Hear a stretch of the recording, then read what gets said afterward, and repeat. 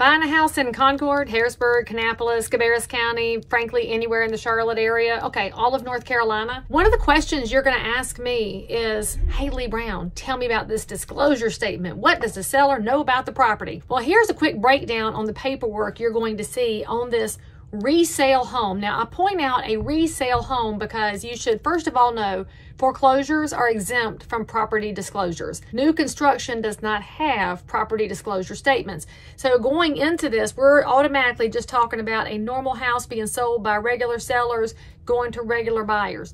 Now, there's a couple of different disclosure forms. The first one is the easy one to gauge. That's the lead-based paint disclosure form. It is for properties built prior to 1978. This is a federal form. What you should know about lead-based paint is that some sellers do not know if their house has lead-based paint.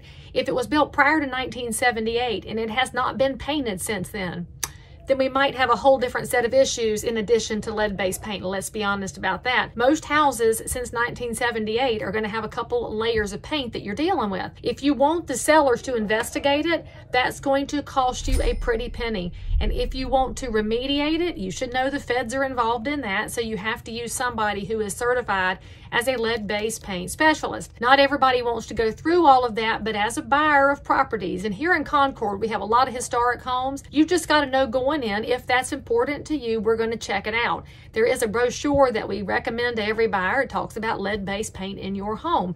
And if you're curious about the problem with lead-based paint, it tends to kill brain cells. And so I'd like to suggest that if you have small children or dogs or anybody that gnaws on the windowsills, that's where you have an increased risk over maybe one solitary person in a property who doesn't really go near the paint. So just think about these things. But as your guide, I'm going to tell you this house may have it. If you want to check it out, here's the opportunity. Now that's the easy form. Now if your house was built after 1978, you could ignore that whole part of the video. So here's the second form you're gonna see. It's called Mineral Oil and Gas Rights. Realtors tend to call it MOG. And when we talk about MOG, we're talking about the dirt under the house. And do you own all of the stuff in the dirt under the house? This became a problem in North Carolina some several years ago when it was disclosed that one of our large production builders had retained the rights to the minerals and gas under the property and forgot to tell all the buyers of the property about that. They didn't really forget they failed to disclose because there is a giant swath of North Carolina that does have great deposits of natural gas and that's one of the things that this builder wanted to have access to in the future. And you're thinking, but Leigh Brown, how in the world could they come through a neighborhood later and come up under my house? Well, if you don't have the rights to that, you have signed away an opportunity to fuss later, which by the way is why you read all the documents you sign at closing.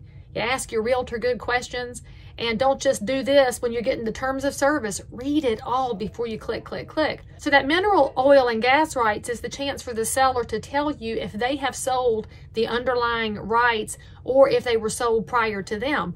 Many don't know. So when you see on this form that the seller says, I don't have the foggiest idea, that's what that no representation block means. Well, it could also mean the seller is a lawyer and was not going to tell anyway.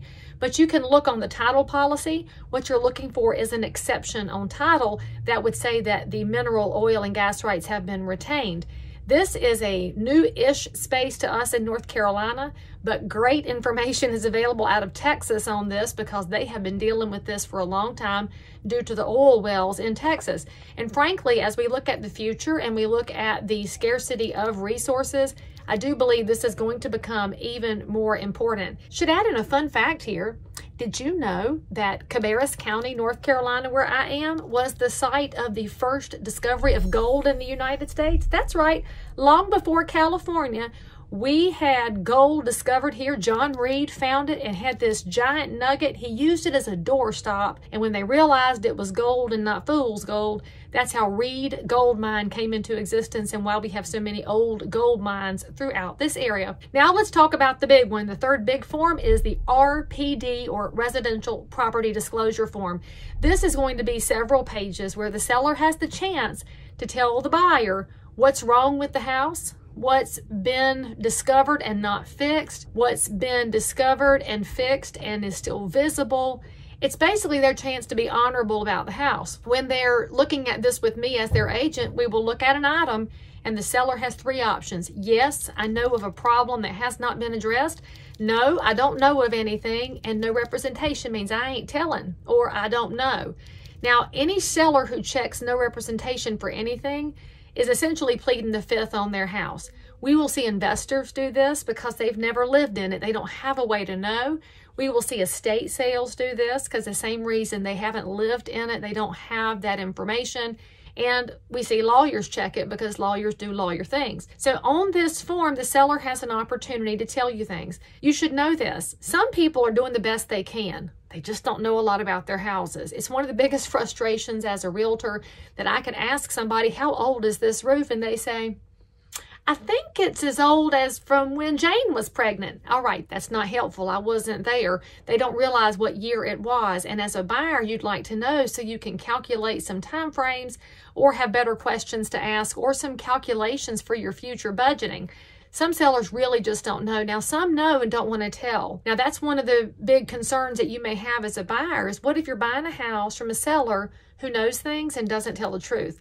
That is why, friends, in North Carolina, we have this due diligence period, which is for investigations.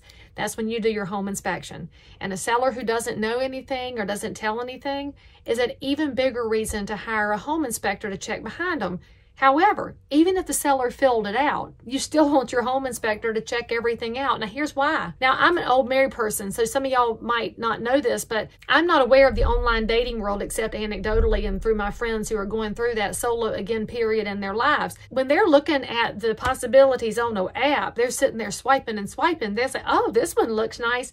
And then they meet them for a cup of coffee and say, this does not match at all because the dating apps are built on what the users put in for inputs. And so is our disclosure form.